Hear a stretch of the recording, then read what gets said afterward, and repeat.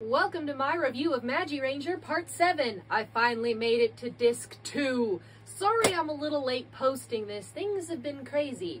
And yes, I have one of these now, and I still have no idea how to use it.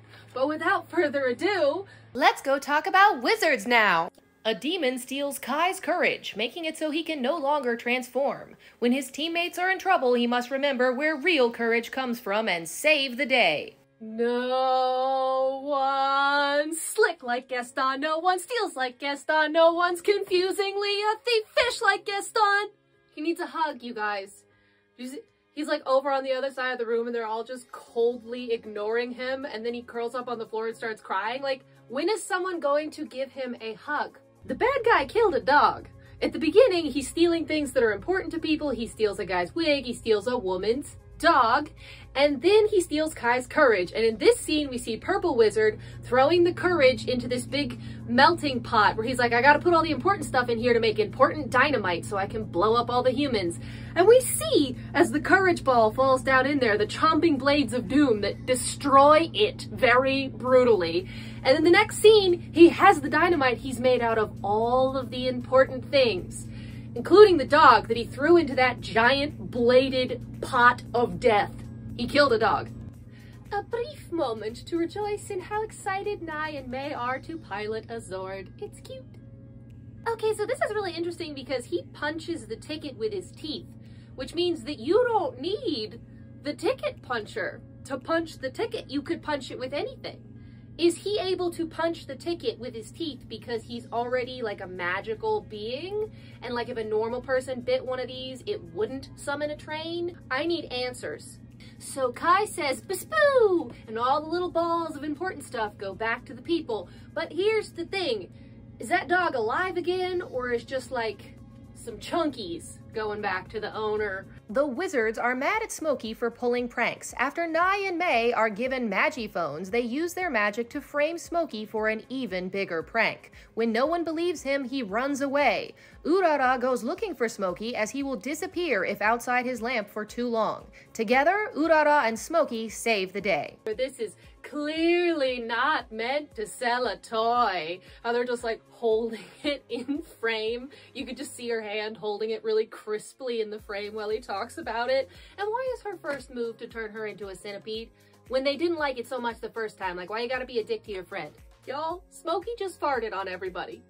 And it was like an escape technique. Like he used the fart to propel himself out of the room and it also created like smoke cover so no one could follow him. Like, damn, he just pecked the fuck out of her. This kind of shit is my jam. Smokey's like, I got no time left. The curse had rules. We have reached the time limit. I am disappearing. And then he's just like, no, I'm not going to. Like, he reforms his own body with sheer, like, piss and vinegar and willpower. And I'm like, you get it, man. Fucking get it. Smokey done chop that bird's beak right off. Right off their face. I talked about this in like episode two, but I cannot take the sad scenes seriously because they're underscoring them with a slowed down version of Magi, Magi, Magina. And it just, I'm just like, America,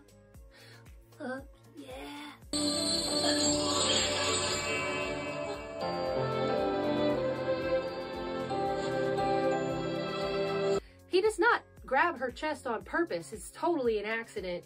So it's, it's really kind of not cool that she punches him across the room, but it is very in keeping with Urara's character, like crazy face and the punch. That's there. That's her crazy side showing. Um, but why did they write? Why would they write? Why would they write that? Why is that there? Why does that happen? A demon cuts the wizard's familial bond, leaving only Makito and Hikaru sensei caring about the others. Makito struggles to remind his siblings of their love. Family triumphs in the end, they kill the demon and have a barbecue. I really enjoy this part where they dodge the hit because this is very much like a superhero all or nothing fight kind of show. Either an attack hits everybody or it misses everybody. So I really enjoyed seeing them like dip under it and then everyone else gets hit behind them and I was like, oh, so you can do that also love an alcoholic villain. He's like, hey, I was gonna kill you guys, but I'm out of sake, so bye. So their bond gets cut, everybody moves out. Makito is not handling this well, and I think that's because he's not the hopeful one. I think Hoka would have handled this situation a lot better because The correct move emotionally is to be like, it's a magic spell, we're gonna fix it, they'll all move back in. But he's taking this very personally. This is so good though. Kai can't get a place because he's still in high school, so he has to go home. And he's just like, don't talk to me, I'll be in my room. So good. I'm very anti burning things, burning pictures, burning old love letters. Every time someone does that in a movie, I'm like, um, excuse me, you're gonna wanna read those again in 10 years because they're a fun artifact. Like, what are you doing? But most importantly, the monster said he cut their bond, like their love for each other. He didn't say, I made all four of them cold, inconsiderate a-holes, which is what you would have to be to just sort of stand there with a tartly look on your face while someone destroys a photo album. Because I'm still a person, right? And as a person, I have the logical ability to recognize that photo album means something to someone and you're destroying it just because you're a dick. Like, it's not hard to pick which side you stand on in that instance. I'd be like, well, I don't really care about the guy, but it's fucked up that you're burning his photo album just because you can. We love a fourth wall break. The ghost of a pop star is being used by a demon to lure civilians to their death with a siren song. Tsubasa spends approximately two minutes with her and they fall madly in love. Which I get on her part, but I don't know why Tsubasa's being so impulsive. The wizards must defeat the demon and save the woman's soul. Then Tsubasa's all sad and stuff. I know the whole point of a siren is that the song makes it so that it doesn't seem weird that they're like, come kill yourself on the rocks. But it this is weird. She's all in white with her little white harp and she's with the white curtains and why is that gazebo right next to that lake in the middle of nowhere? Like, I don't know. It seems suspicious to me enough that I'd be like, this is suspicious. Nice song though. Tsubasa's all in though. He's like, it's not suspicious at all. You're awesome. 琥珀の歌それなら私たちだって